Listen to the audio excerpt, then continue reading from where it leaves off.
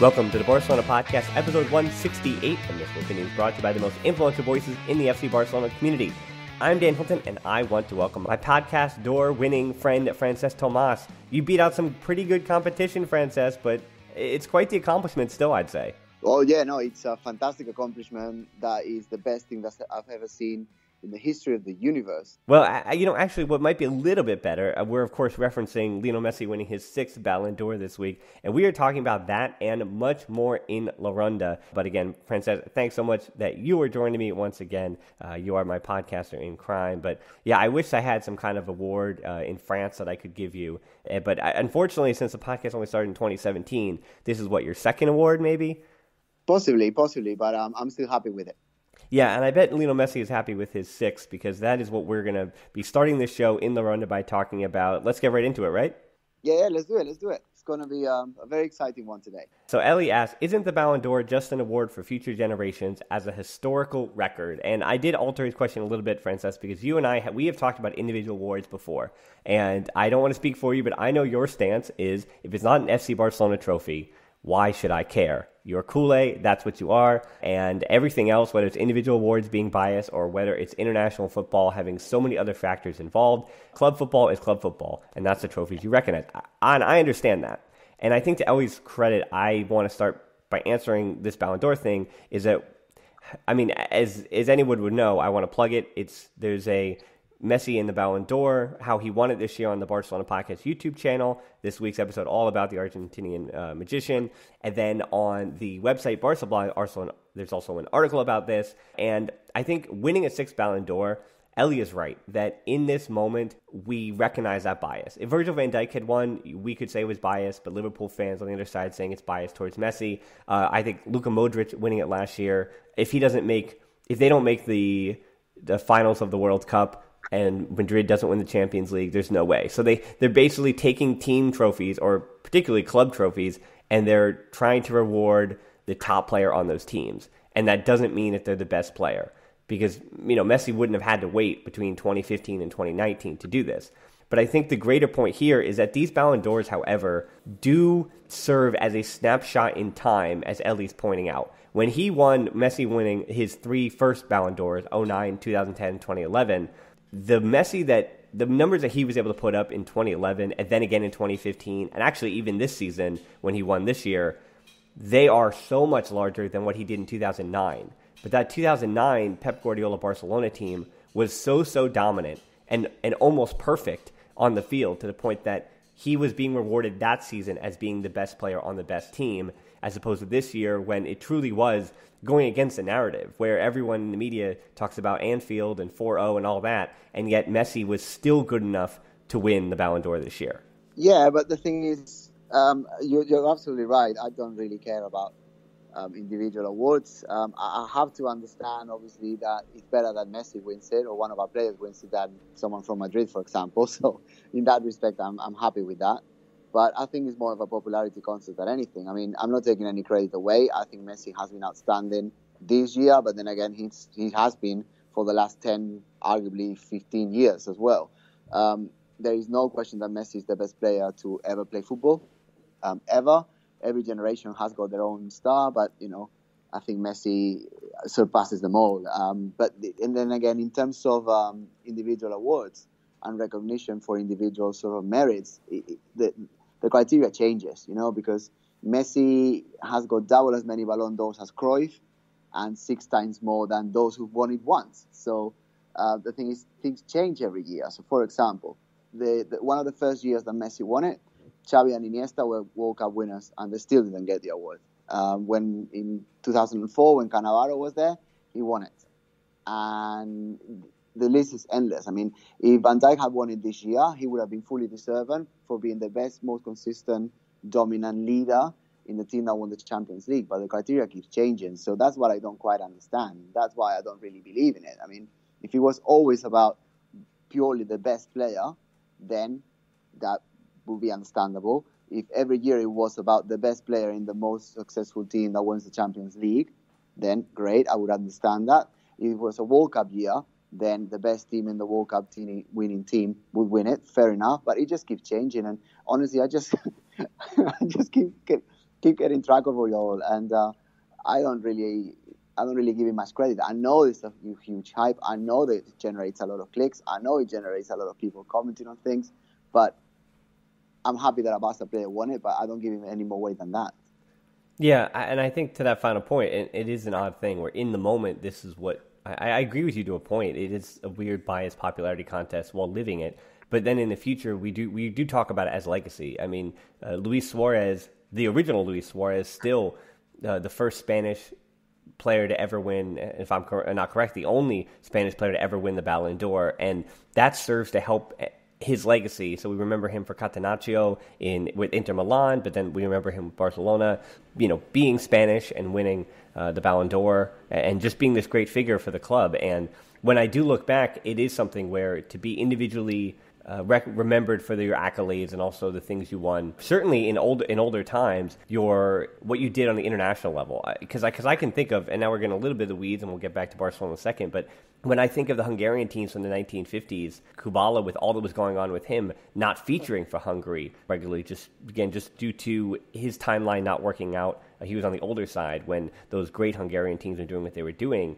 and he also had great injuries at that point. But all that said, they're one of the very rare teams that we still speak about with great reverence, and we say that they should have won these major international trophies. And they're one of the few teams I think that does stand out. So, unfortunately, when it comes to legacy, and again, this isn't about now, it is a popularity contest, but then 30, 40 years down the future, when my kids are looking back through the, the well, maybe a little sooner than that. Actually, probably, okay, so like 10 or 15 years. okay, so let's say your daughter's in 10 what years. What are you planning to do then? That's too long. I'm going to freeze, yes, my wife and I, we're going to freeze ourselves because we and we're going to freeze Messi because we just want to keep this going for the next few decades. But no, we're going to freeze Messi like Walt Disney. Just let him rest. Well, so we can I, actually score in. Yeah, I mean when when Matteo Messi wins the Ballon d'Or and my kids uh, and my kids' kids, so when my grandkids go back and look at all this stuff, we will be talking about individually what they won, but also the team awards and how those things are connected. So in terms of legacy, though, when it when it comes from a Barcelona stance, I want these Barcelona players to do their best individually, to do their best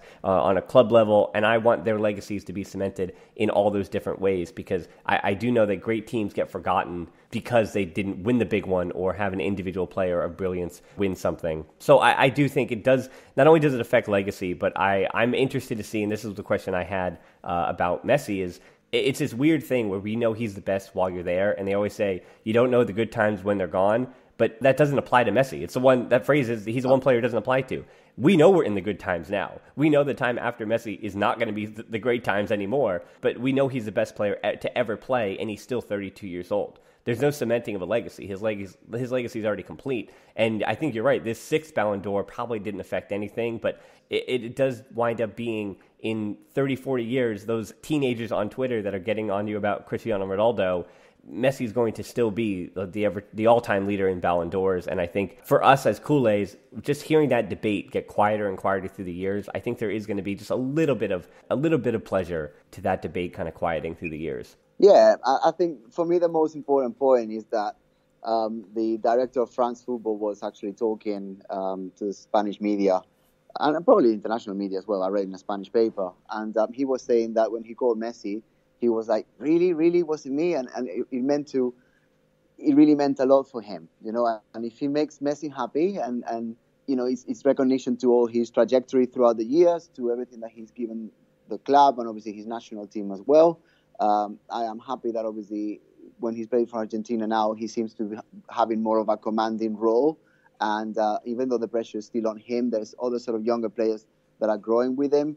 And uh, he got a recent international trophy with his with his nation, which is great. And uh, if it just means that Messi is a little bit happier um, and it sort of boosts his morale moving forward, then so be it. But um, other than that, I, I don't really buy the whole show. But that's probably me just being awkward. Well, I, I did avoid mentioning. I picked five moments on the YouTube video that came out yesterday. I picked five moments this this past season, basically the last year, when I believe that the committee looked at it and said, "Yeah, this guy was the best in the world." I'll give you one little teaser there. You got to watch the rest on the video. But I thought against Real Betis last spring when he had the hat trick, four one, Barcelona just dismantled Real Betis, and he got the standing ovation down in Seville. Uh, that was one of those five moments I thought was established why he was just beyond everyone else this season. Well, good choice. Let's move from a guy who has his legacy pretty much already established to a guy that is just starting to carve out a Barcelona legacy, and I hope he has a good one. Eric asked, with a few games under his belt, what is your evaluation of Junior Firpo? Can he be the long term answer at left back? I don't see it. Sorry, unfortunately, I don't see him being a worthy replacement to the likes of Dani Alves. Obviously, different side of the pitch, but um, the, the great carrileros in Barca history, like Sergi Barjuan, uh, like more recently Dani Alves, and, and obviously now nowadays um, Jordi Alba. I don't see him being of the same caliber. Um, obviously, he's very early in his career. He's still very young, um, but he doesn't have that connection with arguably anyone around him just yet.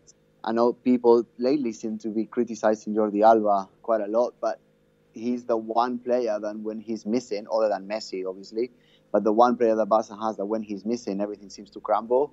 Um, if you think about it, the, the, the, the flow in attack since Jordi Alba has been away injured or unavailable, it's it's very obvious. I mean, Messi doesn't really have the the flow of provision that he has enjoyed throughout the last three four years, and uh, you just feel like there's something missing, especially because obviously the winger that's playing there, be Dembele, being you know lately Griezmann, they're not really offering that much either. So uh, when Firpo has played, he's looked all rightish, just decent, but nothing spectacular. So can he be a long-term answer? I I don't see it. You know, hopefully I'm wrong, and he's still very young, but I just don't see him being of the same caliber of either Sergio Barjuan or Dani Alves or Alba. Not yet, anyway. Yeah, at the moment, I think it's Jordi Alba's our best left back option, and then there's uh, Nelson Semedo on the left side. He was actually really good yes. at left back, and then it's Junior Firpo. But I, I, think in defense of Firpo, just play devil advocate a little bit, he did have that one goal against Getafe, uh, and he seemed to be gaining some confidence, particularly in that game. But then he got hurt, and then since he came back and Jordi Alba's been hurt, his his last four performances of 90 minutes at Celta de Vigo, Leganés, Dortmund, and Atletico, he looks really nervous and not at all like the player that I saw last year and watched a bit of at Real Betis. However, I think he's one of those players who, because of a combination of Valverde's instructions, combined with the pressure of playing for an older team with these great expectations and playing with the expectations of winning for Messi, I think all that couples together and it does bring up the idea, and we might talk about this later in the show too, that mentality when playing for Barcelona, as we're seeing. When last week it was unfortunate, but the video of Jordi Alba uh, at Anfield was circulating and what it looked like in that locker room, and even these all-time legends, all even these all-time greats, uh, Shorty Jordi Alba is going to be seen as uh, as tier two next to Dani Alves, who again I keep arguing is one of the greatest players to ever play the game. But anyway, Jordi Alba is one of the top left backs and top outside backs that Barcelona and Spain has ever had, and yet Jordi Alba, you see mentality at certain moments hasn't been there. And I think across the board, mentality is just so so difficult. And I we haven't talked about in a few weeks, but that goes back to Ansu Fati and protecting him and him having this great mentality showing up on the field. And even we'll talk about Riqui Puig. I have a question specifically about Riqui Puig later in the show, but I also do want to mention his mentality, the comments that he makes. He's in his early 20s now, sure, uh, but mentality is so, so important to Barcelona. And it seems like every passing week, every passing month and, and year, as trophies are harder to come by in Europe. It seems like mentality is just as important. It's everything physical, it's everything tactical. And Firpo, I think he has all the physical tools. I think what we saw at Real Betis, he could be exactly the player that Barcelona bought. But if his mentality isn't there, that's why he'll never succeed. And I don't think it's anything else. I am interested to see if hopefully he survives to a next manager. But if Firpo survives to a next manager and that manager gives him a little more freedom, I want to see what that looks like if he's able to have a little more freedom and there's a little bit more belief that there are defensive legs behind him. So, Francesc, I actually have a question connected to that. You ready to move on? Yeah, yeah, go for it. I was going to say something else. Go. Yeah, so uh, to that point, that I think Firpo has to be a little more passive on the left at the left back position because, as Minor asked, we talk about speed, and I've been, you know, you and I have been rambling on about speed and about the team being slow at times.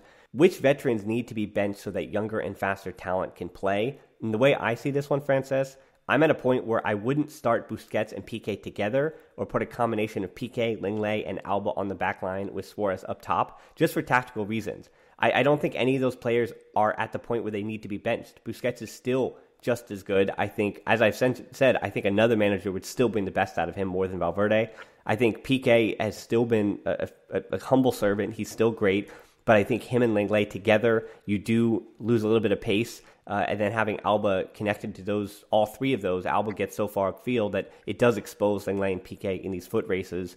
Uh, so yeah, I would just say it's got to be staggered when it comes to those legends. Maybe they all have the legs together at the end of a season, but yeah, I don't think it's one or the. I, I don't think you have to bench one or freeze one out. I, I, just I do think there is a little bit of rotation needed.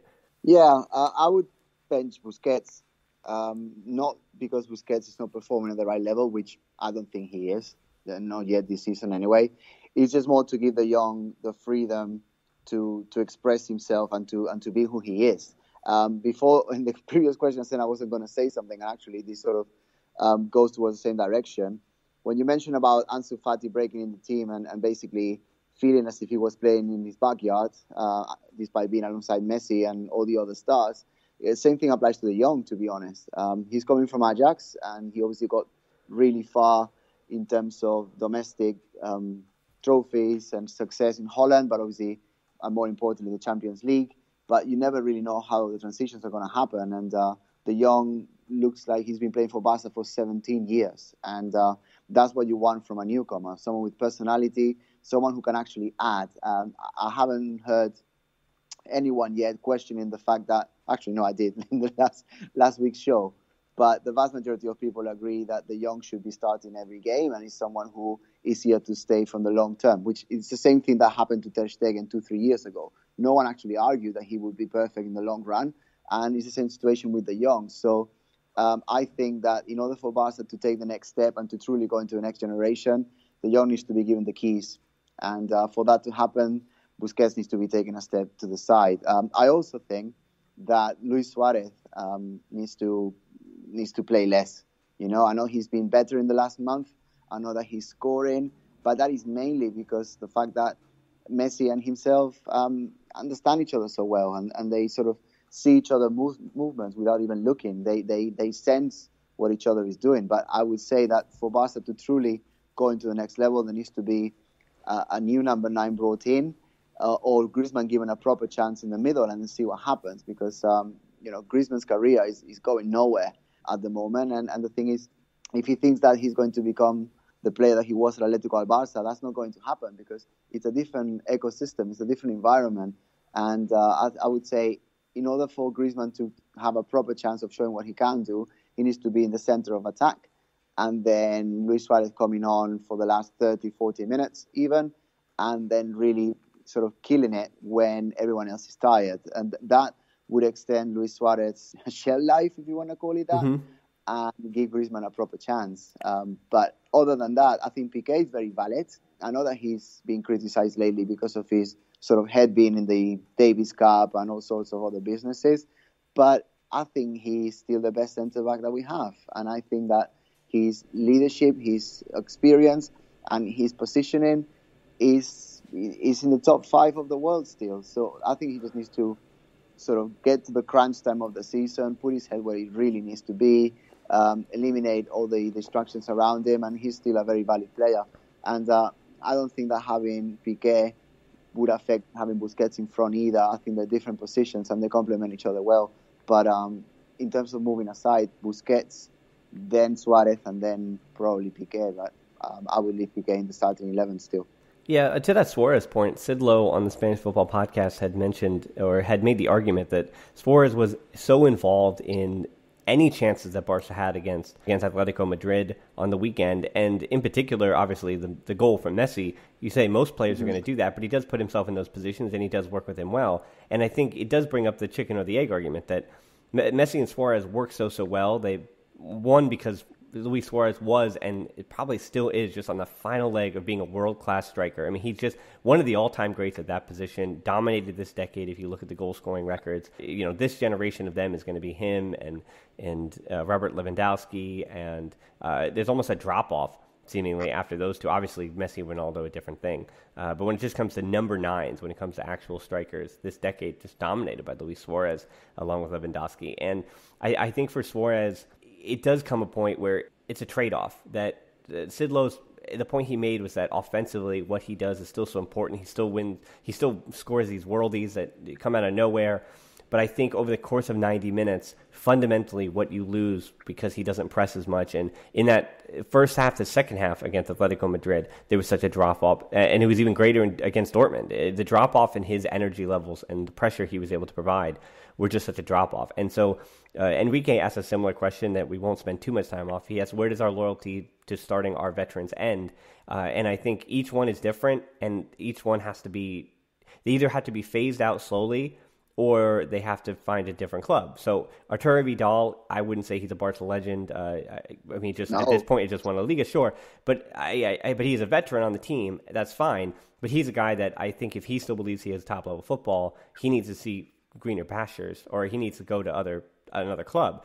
When it comes to Busquets and Suarez and Piqué, all guys that I consider Barca legends, I think we would all agree. But for those three, if they want to stay at Barcelona, if this is where they want to end, not maybe the final club of their career, but this is where they want to end the rest of their prime or end the rest of their top level football, well, there is some kind of slow, there is a way for them to gradually be uh, not pushed to the sideline, but to take a reduced role. And those things are, we look at all, it's not just Barcelona, you look at across all teams, that seems to be the hardest thing for anybody to do. It really is. Uh, other than Vincent Kompany recently at, at, at, Man City, I can't think, and his was mainly due to injuries. It wasn't even due to Pep slowly getting him out of the team because we saw how important he was this season at the back. But uh, very rarely do you have club legends. Very rarely is an easy way to get them with lower and lower time and then to slowly have them uh, solidify their legacy from the bench. It doesn't happen. No, it, it really doesn't. And um, I think that in the vast majority of businesses, the moment that you don't perform or you perform less, then someone's going to replace you. I think that for Barca to continue to be successful and be at the very top of, the, of world football, that has to happen and it needs to happen quicker. You know, um, I think that Suarez, throughout 90 minutes of football, he's reserving himself a lot. Um, he's not running for every ball. He's pressing and he's showing energy and he's definitely showing his um, mala leche, like his bad milk, his aggressiveness as it's always done, and annoying defenders, etc. But um, I think that he can do that for 30, 40 minutes, and it will be far more effective, he will be far more powerful, and um, he can have a like a Henrik Larsson of the 2006, mm. 2005, mm-hmm. 2004 era, and that would suit him really well. And, and to be honest, he would extend his career. I think having two players in the team that don't press, because you know Messi, unless he really wants to make a point, doesn't really press, but that's okay because he's Messi, and what he gives you moving forward is something that no one else in the world has ever been able to to give you, and probably no one will ever be able to give you uh, again. So he's excused from that, and he has to be, so that he can have his um, attacking output. But having two people walking around um, on a defensive transition is is just not something that Barca can afford at this moment in time. So, well, I'll ask you, Francis. I'll ask you, Francis. Dirk asked to that point. Do you think Barcelona is finally starting to shape up after surviving Dortmund and Atletico? mentally more than physically, to be honest. Mm-hmm. Um, I think Barca's problem is not physical. Um, if you if you go rewind back to you know early August, September, then you can argue that. But I think it's more about players actually wanting to to go the extra mile. I mean, you could see it in the in the game against Dortmund. You you played well throughout the whole game, and then the last 20 minutes, the players even admitted. I think it was Lenglet after the after the game that said, and we let ourselves go a little bit after the game uh, in the last 20 minutes, and. Uh, that's not something that you can number one say publicly. That's a stupid thing to say. But the thing is, it was so obvious for everyone to see that he had no option but to admit it. And uh, I, I don't think that's right. I think that you need to be pushing um, in order to move forward, and the, the, it is the manager that has to see the changes he needs to make in order for the team to be excelling in pretty much every occasion they have. Yeah, I think that perfectly sums it up and where Barca are at the moment. But where we are at the moment is an ad break, so we will head to the ad break and be back for two more questions, then our lightning round. All right, back from that ad break, we've got two more questions. Then we're going to get into some quick fire questions. We like to call it our lightning round. It's been a fun thing we're trying to do. We'll see how it goes. But first, question from Pancho. Do you think Valverde is playing for wins to avoid the boot, especially with other big managers getting sacked? And some of the other big managers I think Pancho is referring to, uh, Pochettino, obviously, a few weeks ago now. Unai Emery from Arsenal was let go, and Niko Kovac from Bayern Munich was also seen the boot. So it seems like whether that's Tottenham, Arsenal, and Bayern Munich, uh, big managers can be uh, gotten rid of around this season, and particularly around the Christmas season. You see it. The Premier League winds up being a merry-go-round. And same thing with La Liga, uh, where I think La Liga we're still waiting for some of those big shoes to drop. You had Marcelino at the start of the season for Valencia, which was a confusing thing. But no, I think La Liga it's it's going to happen soon, uh, but I don't know if it's going to happen to Valverde. But do you think he's managing to just avoid not losing? Well, possibly. I mean, he's on around 20 million euros a year, so you don't really want to get sacked from a job like that. Um, it's not he's going to get that, pay that money from anywhere else in the world, really. So it's understandable that he's fighting for his job and wants to keep it, and obviously he won't resign even if results get really bad. Um, you cannot really blame the guy for doing that. I think it's more to do, as I've said before in the pod, it's more to do with the board actually taking action and making things better um, in due time, not just when it's too late to actually have um, have a second thought that when it's too late. Um, I think Barca this this time and this season is just not dominating games that they should be dominating. Um, they are becoming more of an ordinary team in terms of what other teams can do is what where Barca is becoming. I mean, if you look back five, ten years ago, Barca could play whatever game they wanted. They could dominate the games. They could take the game um, sort of up in the tempo. They could just slow it down. They could be retaining possession. Barca cannot really do that anymore under Valverde. And uh, of course, the manager has got a lot of blame to share there. But obviously, the players are also older, and uh, they're becoming a team basically that has Messi as a as a last resort, but a team of sort of two areas a team of two of, of transitions. Um, Barca, uh, the, the, current Barca under Valverde, dominating. Um, they, are becoming more pragmatic and more solid at the back, so they're trying to dominate and, and sort of be conservative and not being hit. And then they're hitting on the counters, and obviously up front they've got Suarez and Messi, who don't really um, make many mistakes when they've got the chance. So it is Valverde is taking Barca into an area in which the vast majority of the fan base don't feel very comfortable to be, which is uh, even counter-attacking at times. You know, and uh, that's to me feels unnatural, but that's that's where we are, or where our current manager is taking us. Better said.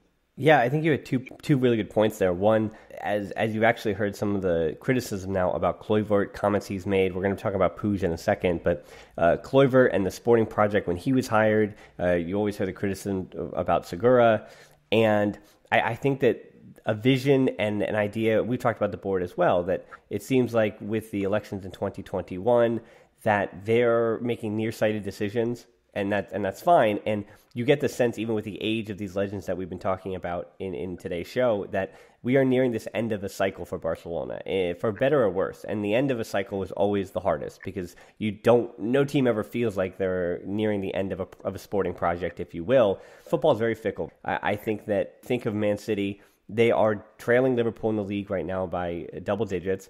And that project of Pep Guardiola winning the Champions League final. Because when Pep Guardiola went to Man City, there was this belief, there was this feeling. They have all this money, they have Pep Guardiola, they have this talented team he's going to build. And how is there any way? I mean, he'll win Premier Leagues, and he did do that, but how is he not going to win the Champions League? And yet, they've never even made a final with this project built for him that at this point may not happen. We don't know how long Guardiola, it seems like uh, where there's smoke, there's fire, and there's not returning to Barcelona per se, but there is rumors that his time at Man City could be nearing its end, whether it's this season or maybe the end. He'll step away and do whatever it is Pep decides to do.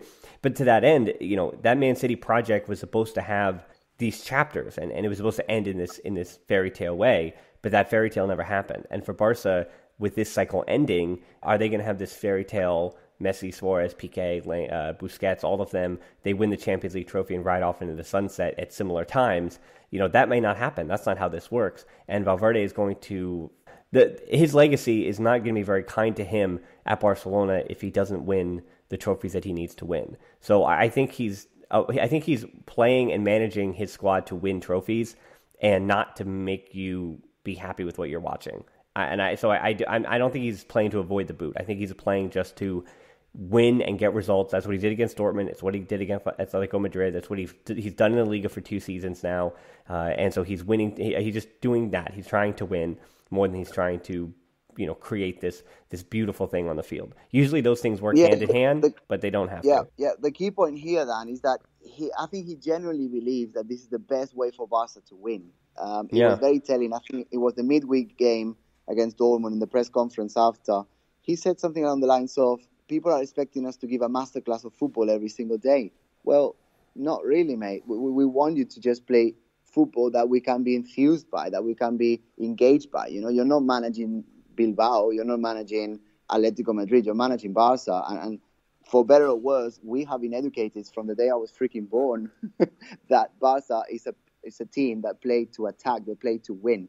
Is what the Brazilians in the early 2000s used to call the jogo bonito. You know, we play good football, and that's that's that's who we are. It's not it's not an expectation. It's not a snobbish sort of way of understanding the world. It is who we are. We're not going to be defending like Italy um, with the Catenaccio you mentioned earlier in the show today. It's not Barca will never play Catenaccio. I mean, maybe with this board, maybe they're playing Catenaccio tomorrow. But what I'm trying to say is that we've got a way of playing, and the success we have achieved has been related to the times in which we've actually played this way.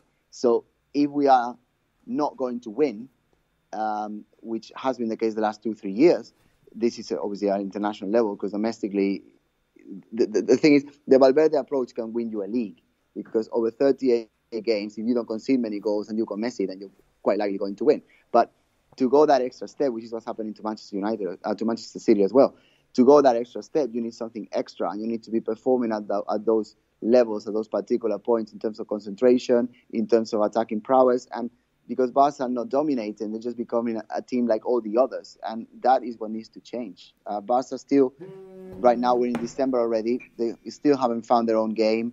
Uh, Valverde keeps changing things like the midfield, hasn't found the attacking three yet. There's no continuity, so I don't quite know what where the manager is taking us. And if if we're not gonna achieve success at the end of the season, which is obviously still up for debate, then at least we should be playing the right way, not for a not for a sort of big-headed way, but just for for, for representing and, and making justice to who we are as a club. Well, two players that I think in the next cycle, as I've been referring to, that could help make the club the thing that we want to see on the field. Douglas asks, how are Puig, and that being Riqui Puig, and Pedri, who's playing at Las Palmas, and he'll be coming most likely to Barca B, but potentially even to the first team next year, how are they developing?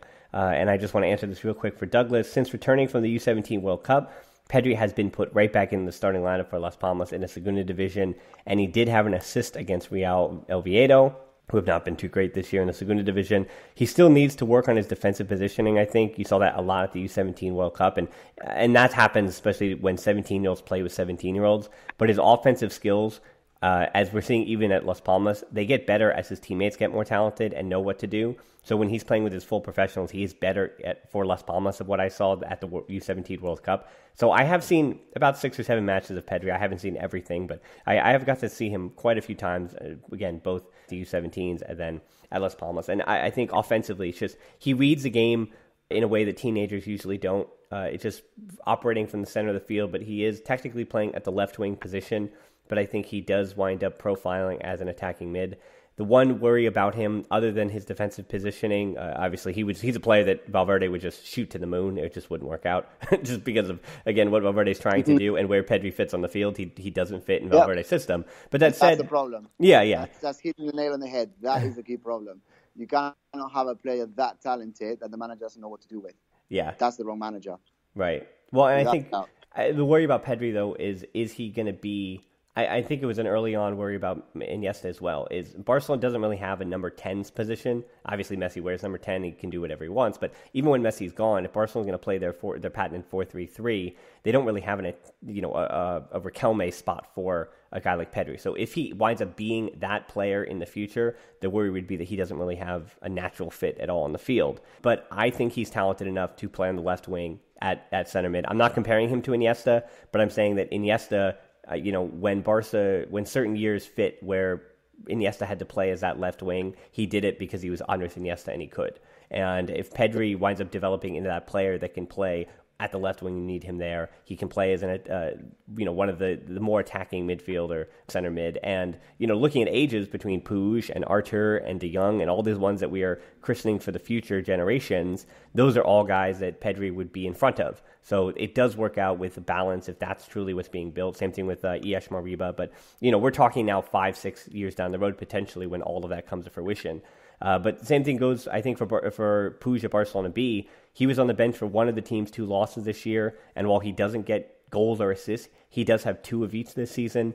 But most importantly, if you, uh, you know, of what I've been able to, in limited ways, see of Barcelona B, uh, he does set the tone for matches. And he builds up so much of what they do, and he's so essential to what the, the game plan is for Pimienta's squad.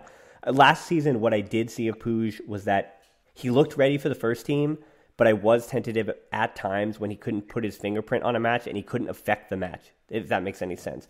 Now it seems like mm-hmm. a shock to me when he doesn't play a starring role and is the most influential player in every match. Consistency, I think, has been the next stage of his development.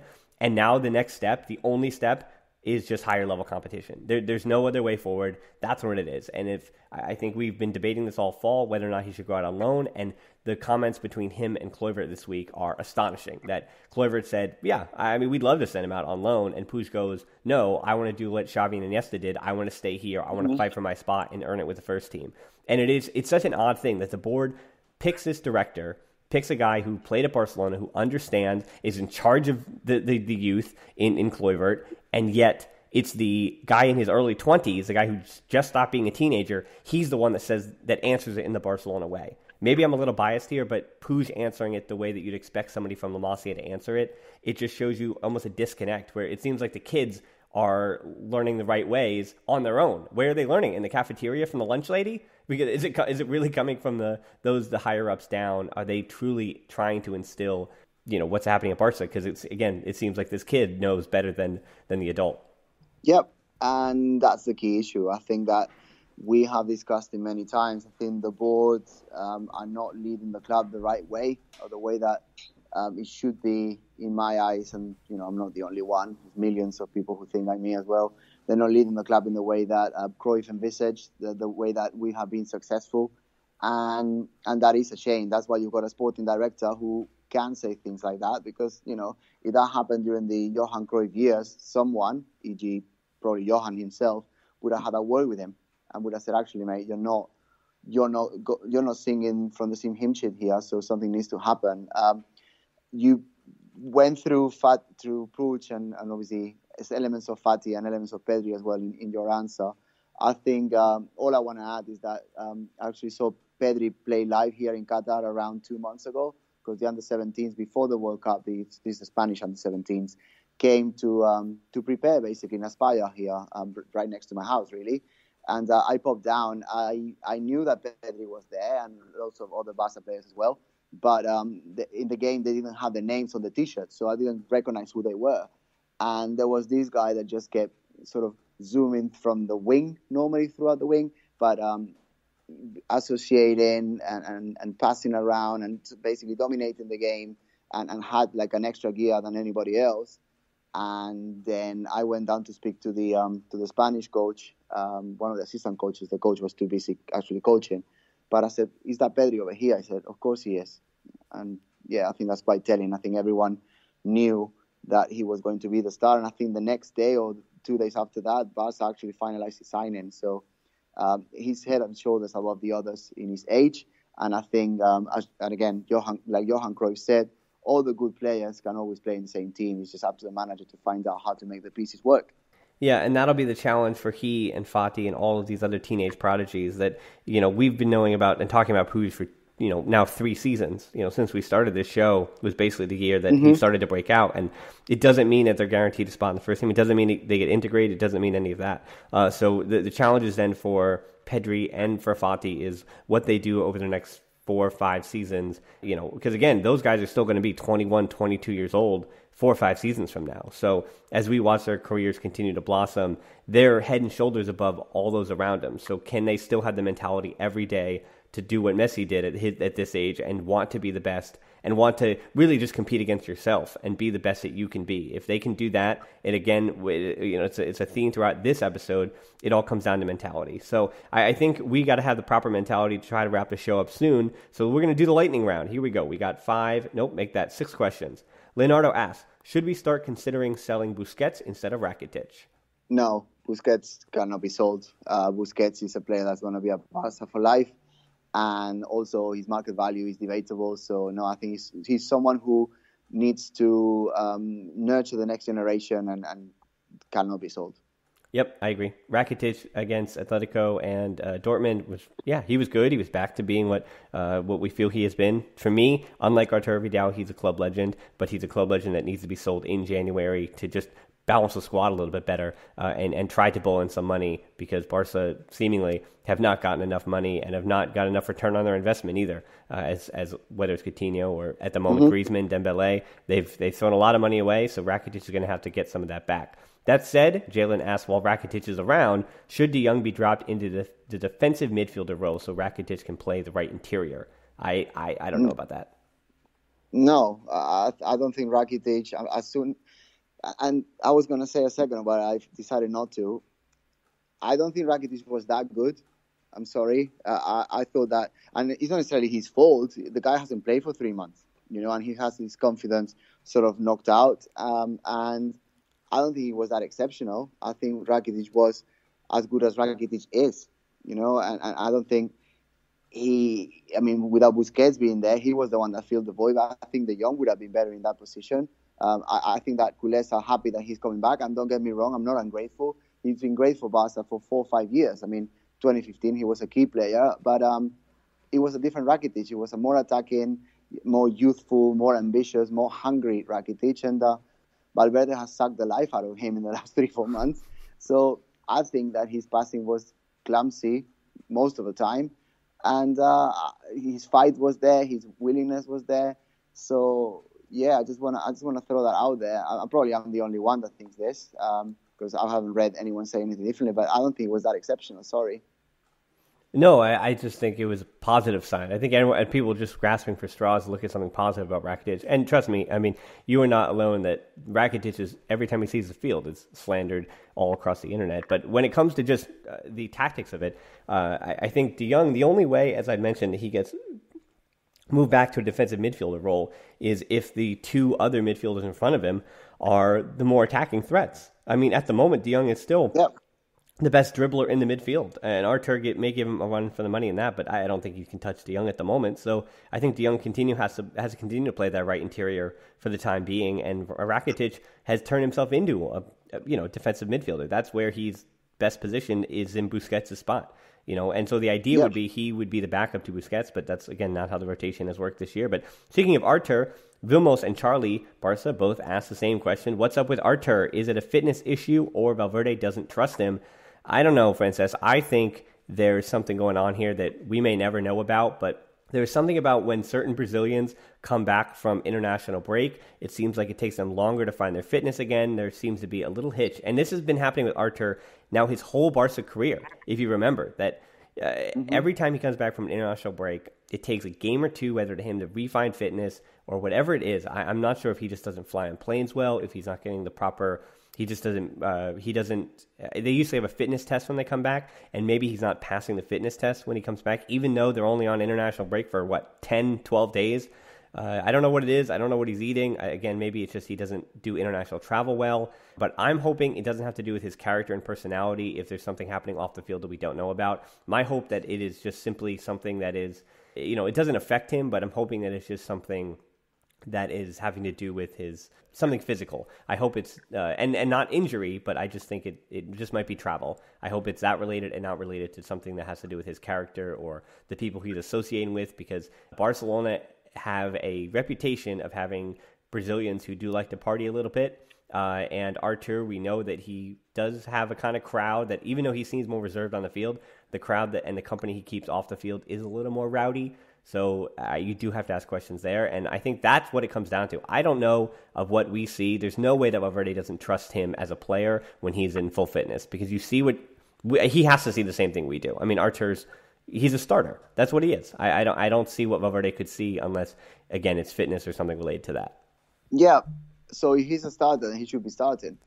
That that's that's my view. I think that if you cannot crack it at how old is he 22 21 it's very very young yeah. still yeah, so being that young, I don't think it matters how many miles you've traveled. You you should start, you know, because he's not the only one that's been traveling. I mean, Luis Suarez or Messi or whoever has been traveling as well.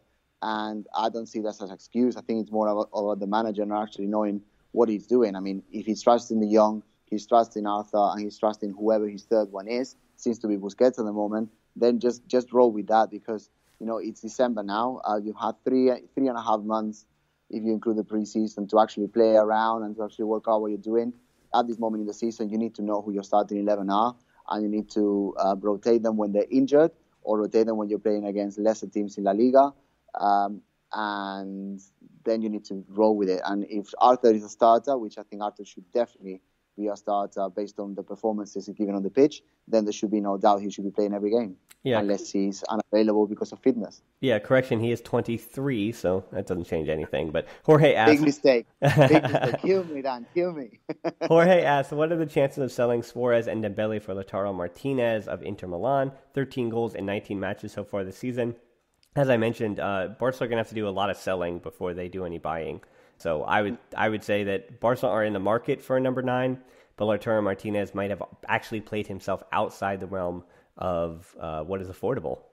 Yeah, agreed. Um, I think that the, the, the next uh, forward that Barca sign will be Neymar, though. Yeah, I agree. And I, I would say because I mean Messi is very clear. He's got what two, three seasons left. His best years um, in the latest sort of five, six years have come with Neymar in the team. I think he wants him back. I think he will be a great addition. Uh, obviously, injuries permitting.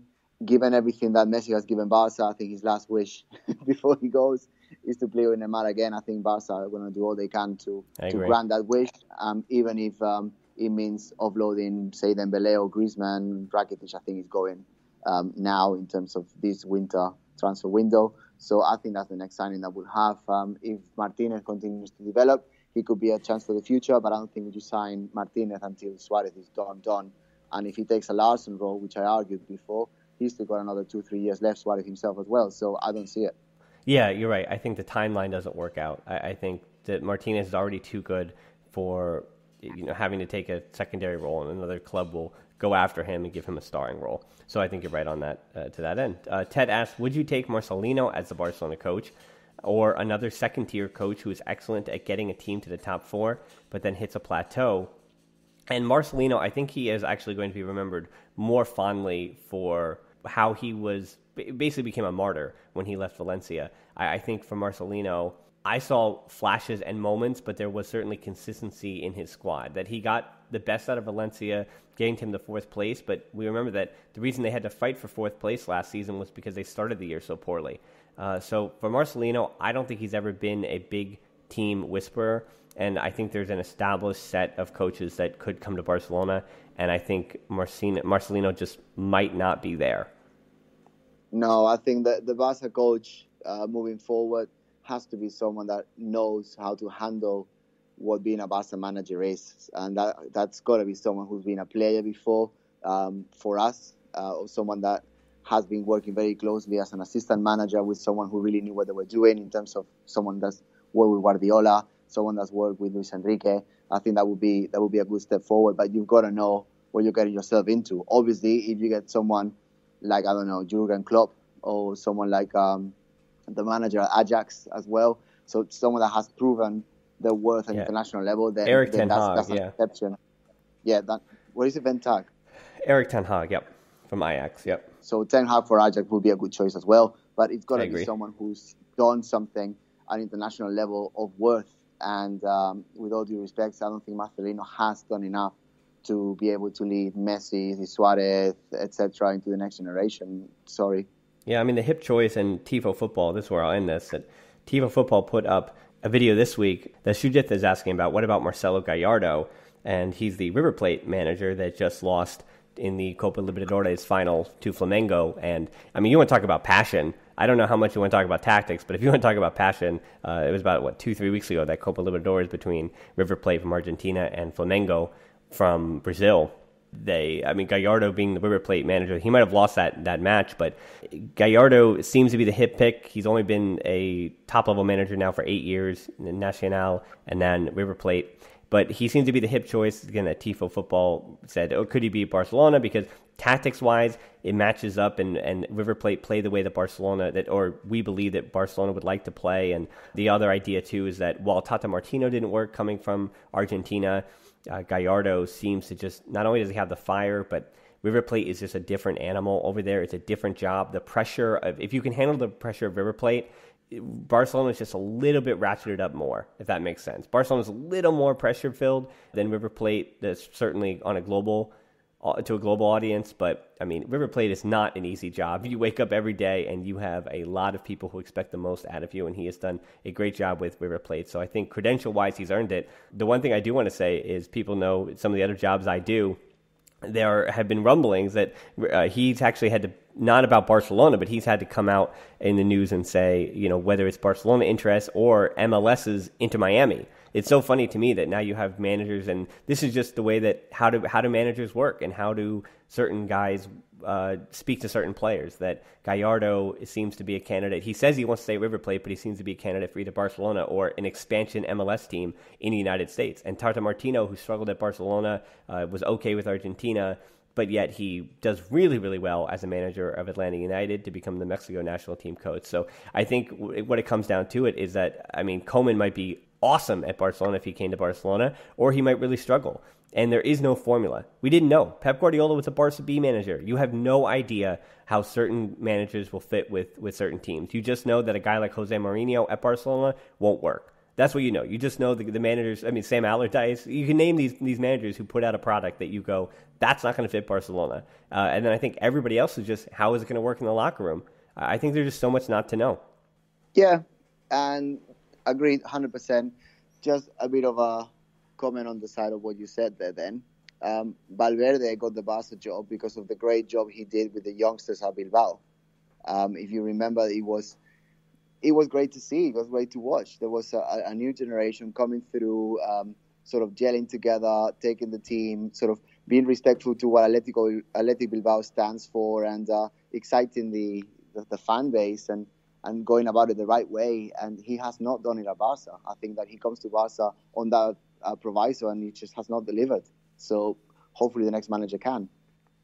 And hopefully this show delivered for you as we're going to wrap this one up. Thanks so much for tuning in. You can tap in your app and check out the show notes to subscribe. You can find us on social media too. We're on Twitter at the Barcelona Pod or at Hilton D13 for me. On Instagram at the Barcelona Pod. You know the rest of it. Closed Facebook group where we got these questions, tbpod.link backslash group. You can help us out on Patreon. That's where we do our quick take match reviews as well. I do a radio show actually, the UK, in the UK called Love Sport Radio for uh, Barcelona. It's on El Clasico show. So I also have that now on the Patreon show. So you don't have to look for that anywhere else online. You can find that on the Patreon. As well as I've now been putting up, if you want to hear this whole show without ads, I now put that up on the Patreon as well. So there are different goodies that are being added to the Patreon as we speak. That's tbpod.link backslash Patreon. Also for $3, you keep us making new shows. And you, uh, as everyone's been know, been hearing and knows as well, that for the YouTube channel, I, you haven't seen my face in a while. That's because we're trying to figure out a new studio and a new space. And to do that, uh, that's been all the Patreon help that we could get for all of that. So that can support the show in new ways as well.